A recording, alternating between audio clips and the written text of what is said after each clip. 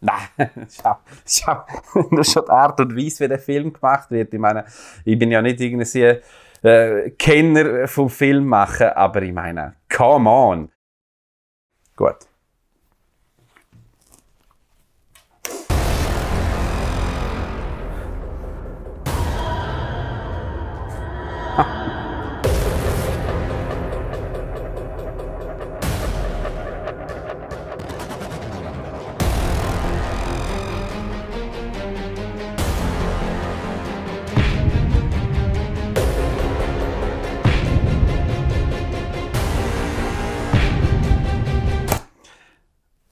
Also ich kenne ja viele Gewerbetreibende.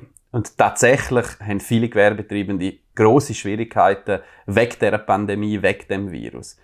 Aber das CO2-Gesetz kann eine Antwort sein oder ist eine Antwort auf diese Problem, weil das CO2-Gesetz eben genau dafür sorgt, dass man mehr Geld investiert in der Schweiz für erneuerbare Energien, für auch bauliche Maßnahmen, für den Umbau vom Gebäudepark, für neue Heizungssysteme, all die Sachen, die ja unmittelbar am Schweizer Gewerbe Aufträge ermöglichen, dadurch Arbeitsplätze sichern. Also das CO2-Gesetz ist Teil von der Lösung, um aus dieser Krise rauszukommen und sicher nicht eine Belastung. Für das muss man nicht Ökonomie studiert haben, um das zu begreifen.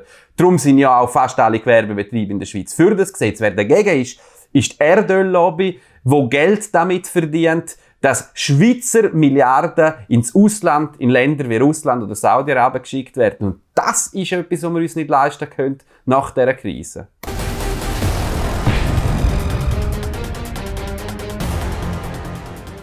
Das ähm, bedeutet für uns alle neue und auch höhere Abgaben auf Benzin, auf Heizöl und auch aufs Fliegen.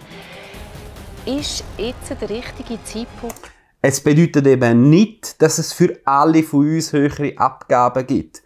Beispielsweise mehr als die Hälfte von allen Hausbesitzerinnen und Hausbesitzer im Berggebiet, in meinem Kanton in Graubünden zum Beispiel, heizen heute schon ohne fossile Energie. Für all die tut sich nicht nur nichts verändern, die profitieren. Weil eben mit der CO2-Abgabe auf Brennstoff gibt es mehr Rückverteilung. Das heißt, die Leute kriegen mehr Geld. Und zwar mehrere hundert Franken, wo sie mehr im Sack haben, um damit Konsum und Investitionen zu fördern, als wenn wir das Gesetz nicht haben. Also, es ist eine Lüge, dass alle mehr zahlen. Klar ist einfach, gefördert wird ein Umbau von unserem Heizsystem hin zu Erneuerbaren. Und genau das brauchen wir. Das schafft Arbeitsplätze und das tut unseren Klimaschutz stärken. Punkt für so etwas. Wir haben heute schon Abgaben auf dem Benzin, wir haben heute schon Abgaben auf dem Heizöl. Wir machen mit dem neuen Gesetz nichts anderes, als die fortzuführen bis im Jahr 2030.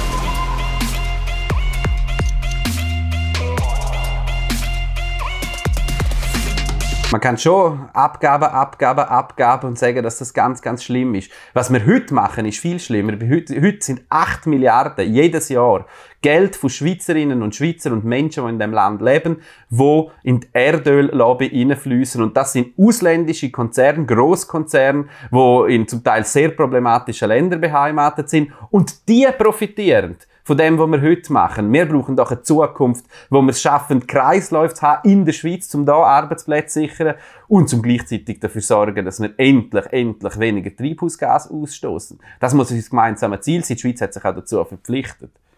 Das ist einfach reine Angstmacherei.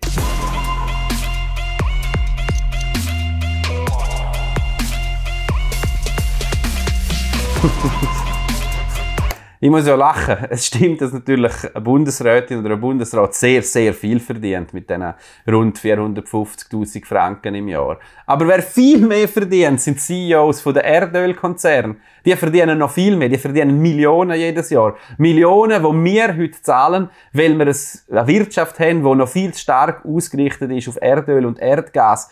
Die sind elitär, die, wenn es weiter abzocken und das CO2-Gesetz, das von der Simonetta Sommaruga stark prägt ist, die will eben die Abhängigkeit abbauen und dafür sorgen, dass wir in der Schweiz weniger abhängig sind, dass wir weniger CO2 ausstoßen und dass wir mehr Arbeitsplätze hier vor Ort schaffen können.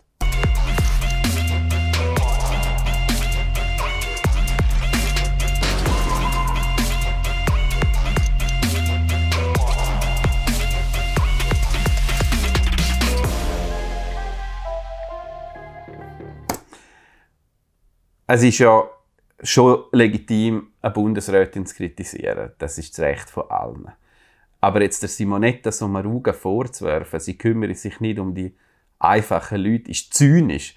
Das ist eine Frau, die Jahre von ihrem Leben sich dafür eingesetzt hat, als oberste Konsumentenschützerin, dass wir alle nicht abgezockt werden im Laden oder wenn wir eine Dienstleistung kaufen. Das ist eine Frau, die sich jeden Tag dafür einsetzt, dass es in dem Land ein bisschen sozialer zu und her geht, wo eben auch ein CO2-Gesetz ausgearbeitet hat, das sozial ausgerichtet ist, mit einer starken Rückverteilung, wo die mehr belastet, wo mehr umsauen, mehr sich leisten können zu fliegen, größere Wohnungen haben, größere Autos haben und eben nicht die einfachen kleinen Leute belastet. Und ich finde es wirklich eine Zumutung, dass sie da so angegriffen wird.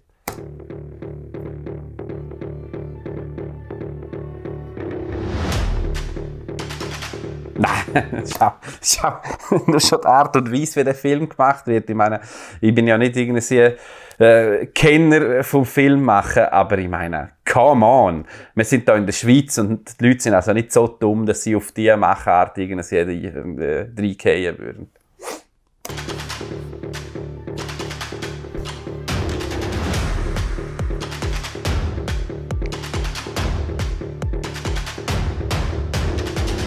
Ja, so nicht, so nicht, äh, muss man eigentlich zu dieser Art von Campaigning sagen. Das ist einfach, das ist einfach nicht wahr. Es ist äh, reine negative Emotionalisierung. Und vor allem äh, erwähnt es nicht, um was es eigentlich geht. Und da geht es darum, dass die Schweiz ihren Beitrag leistet zum weltweiten Klimaschutz ihren Beitrag leistet, dass auch wir das Pariser Klimaabkommen einhalten können, dass auch wir endlich, endlich, endlich, es ist eigentlich schon fast fünf ab zwölf, wirklich das machen, was notwendig ist, um unseren Planeten zu retten, nämlich aber mit dem CO2, aber mit dem Ausstoß von Treibhausgas.